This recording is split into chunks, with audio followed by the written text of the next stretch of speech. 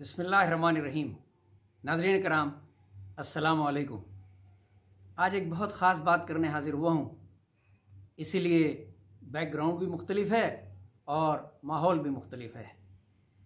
International relations की दो मशहूर व मरूफ थ्योरीज़ रियलिज़म और लिबरलिज़म या आइडियलिज़म पे बहस करूँगा। लेकिन, जो काम पिछले पाँच हज़ार साल में नहीं हुआ आज मैं करने जा रहा हूँ।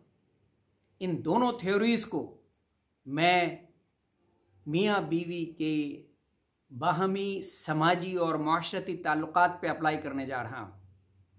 जी हाँ बाहमी समाजी और माशरती सोशियो कल्चरल रिलेशनशिप पे अप्लाई होगी।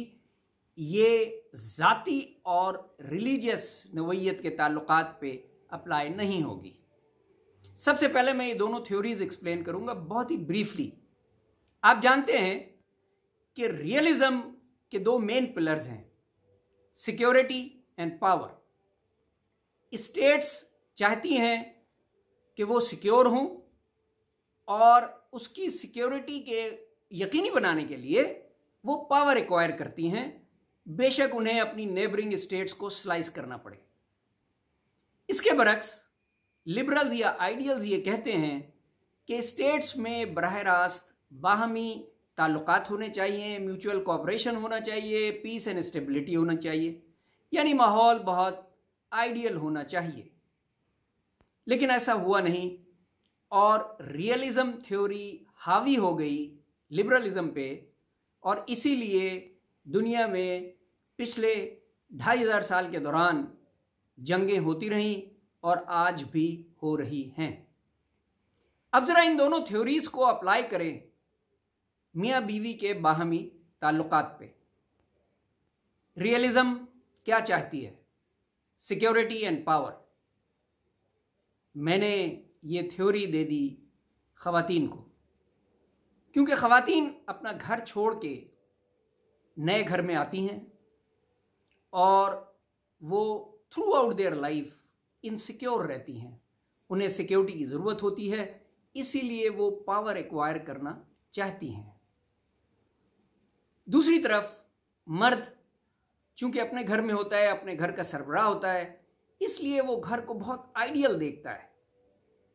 वो बीवी में अपने माँ वाली खसूसियात देखता है। और वो चाहता है कि जब वो घर वापस आए काम से तो बीवी सज संवर के उसका इंतज़ार कर रही हो। खाना पकाया हुआ हो और किसी भी किस्म की शिकायत उसके कान में ना आए। लेकिन ऐसा होता नहीं जब रियलिज्म और लिबरलिज्म का टकराव होता है तो ताल्लुकात जिस तरह दो स्टेट्स के दरमियान बिगड़ते हैं, उसी तरह मियाँ बीवी के दौरान भी बिगड़ सकते हैं और बिगड़ते हैं। बहुत से जोड़े ऐसे होते हैं जो पचास साल एक छत के नीचे गुजार देते हैं। लेकिन उनकी रिलेशनशिप आइडियल नहीं होती और उसका बहुत बुरा असर बच्चों पे पड़ता है। लिहाजा मैं इस थ्योरी को अप्लाई करने के बाद आप सबसे गुजारिश करूँगा कि अपने ताल्लुकात को रिव्यू करें। चूँकि रियलिज्म हावी है लिबरलिज्म पे, इसलिए मैंने एक नई थ्योरी इंटरनेशनल रिलेशंस में दी, जो कि एक नामी ग्रामी जर्नल में छप चुकी है। रियलिज्म है, लेकिन जेड से है एस से नहीं. रियलिज्म जेड से मतलब है रियलाइजेशन अगर स्टेट्स एक दूसरे के ताल्लुकात में ये रियलाइजेशन ले आए कि मैं अपने नेशनल इंटरेस्ट को अहमियत देता हूँ, उसी तरह दूसरी स्टेट भी दे. और यही थ्योरी जेड के साथ अगर आप अपने घरेलू माहौल में अप्लाई कर दें तो मियाँ ये रियलाइज़ करे कि बीवी की क्या रिक्वायरमेंट्स हैं और बीवी ये रियलाइज़ करे कि मियाँ की क्या रिक्वायरमेंट्स हैं। तो घरेलू और समाजी ताल्लुकात इंतहाई शानदार हो सकते हैं, यानी आइडियल हो सकते हैं। आप इस थ्योरी को अपने घर पे अप्लाई करके देखिए।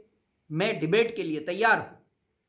मैं जानता हूँ कि ये बात इससे पहले आज तक कभी किसी ने नहीं की और मैं हर किस्म के सवाल जवाब के लिए तैयार हूँ। मुझे आपके कमेंट्स का इंतज़ार रहेगा। वीडियो पसंद आई हो तो लाइक कीजिए। चैनल को सब्सक्राइब कीजिए क्योंकि हम इस चैनल पे दीन और दुनिया दोनों बातें करते हैं। अपना बहुत ख्याल रखिएगा। आपका बहुत बहुत शुक्रिया। अस्सलाम वालेकुम अल्लाह हाफिज़।